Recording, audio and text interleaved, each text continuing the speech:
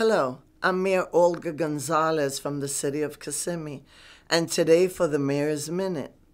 Today I would like to congratulate on behalf of the City Commission the appointments of Natrevia Gradney Mitchell as the new Director for Public Works and Engineering, Steve Lackey, Director of Parks and Recreation, and Tavia Conner, Finance Director. Congratulations.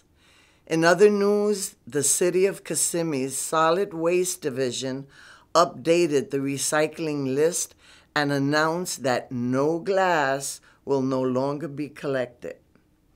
The transfer stations and recycling centers in Osceola County no longer accept glass due to the high costs associated with processing.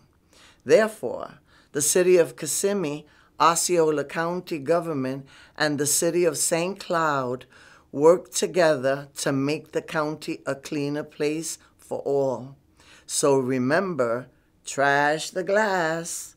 If you have any questions about your solid waste, pickup dates, remember that you can visit our website and check your scheduled route by entering your address.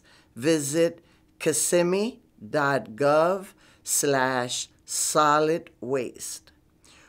We are here to assist you, so if you have any questions or want to learn more about the City of Kissimmee, call our Communications and Public Affairs Office at 407 518 2314 or send an email to news at kissimmee.gov.